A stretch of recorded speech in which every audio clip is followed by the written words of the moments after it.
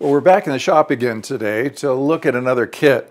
Now, this is the other half of the Phoenix kit we covered in the last episode. That was kit was specifically for the DIT manager and data offloader. This is for the DIT, and it's got the name Dragon for a reason.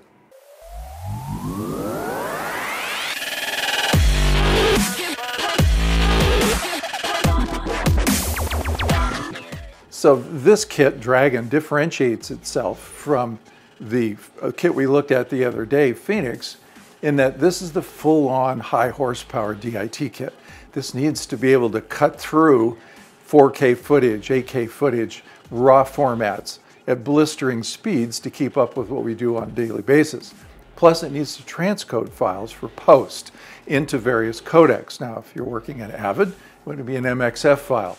If you're working on Resolve or Premiere, probably ProRes files. But we need to cut through those things really fast with the audio synced and minor color correction. We want something that throws fire out the ports, and therein why we call it Dragon. Now, the box it's in was chosen specifically for its size and its format and its stackability. But this is really a roadie case for rack mounted gear like amplifiers. Now we're not going to use the rack mounts that are inside of here, but we are going to use the case's overall design and rigidity to suspend the computer in such a way that it can take some abuse on set. Now, we don't always get to move our gear around. People like to help us, maybe a camera PA that's not really cognizant that this stuff is kind of fragile. And so it's got to be a little bit you know, well, like the people who handle your luggage at the airport. Uh, it's got to be able to withstand that on a daily basis, putting it on carts, hand holding it, rolling across awful terrain, indoors and outdoors in the back of trucks and so forth. Well, you probably know the drill. If you don't know the drill, you'll know it pretty fast. Now, the connections on this box are really important and how it connects to things and how we've set the connections up to make it easy to work on set and keeping this case enclosed so that it's pretty much weatherproof. And in fact, as you see it right here, this is how it sets on set. Now there'd be an extra monitor that goes along with this, a very expensive color correct color grading monitor because the DIT, again, does color correction. Not color grading, but color correction. We need something that's very accurate for the DP to look at.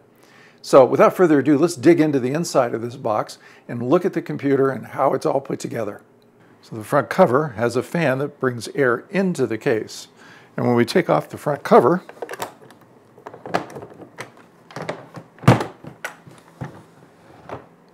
we can see the rack mounts for the case here on both sides that we're not going to use. Instead, we chose to suspend this ATX computer using common packing foam blocks.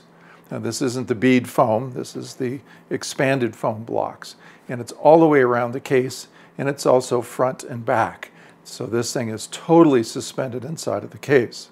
Now on this side of this box, or this computer box, we have our USB 2 ports, everything clearly marked so we know what they are.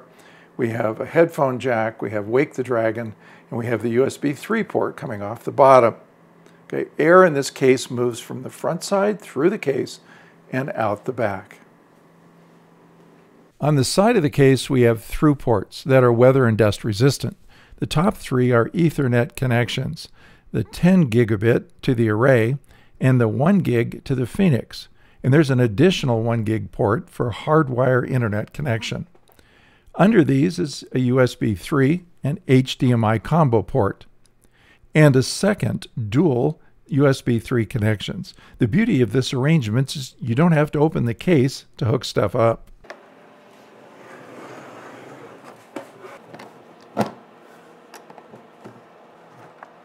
So before we get into the back of this computer and all the wiring back here, let's talk a little bit about the computer itself.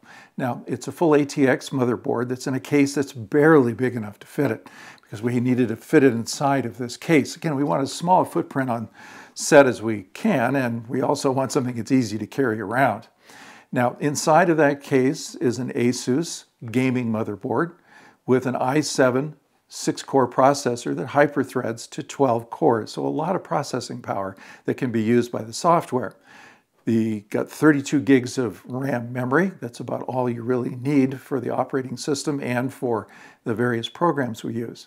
This is running the Macintosh Mojave operating system. Now I know there's newer operating systems out there for Macs, but you definitely, when you're making a Hackintosh, want to pick something that's stable and mature uh, so that the system itself is well supported and runs pretty flawlessly. Now the only downside to this system is that it only has two card slots. We'll talk about those in a minute. And it doesn't have Thunderbolt.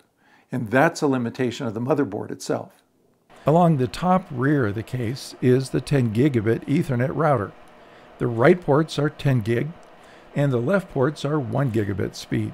So the NAS hooks to the 10 gigabit ports and the Phoenix and other connections go to the 1 gigabit side.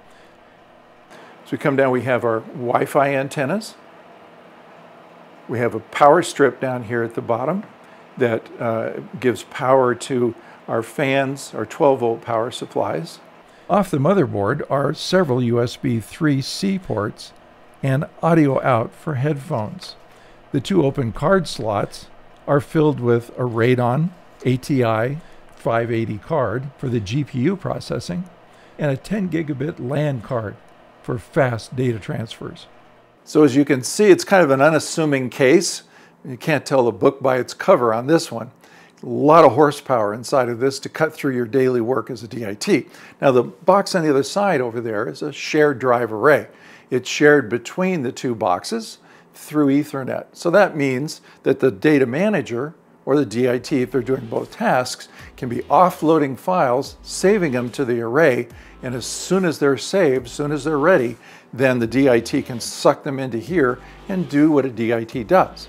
Minor color correction, sound syncing, prepping those files to get them out to post for editorial as fast as possible. That's where the horsepower comes in.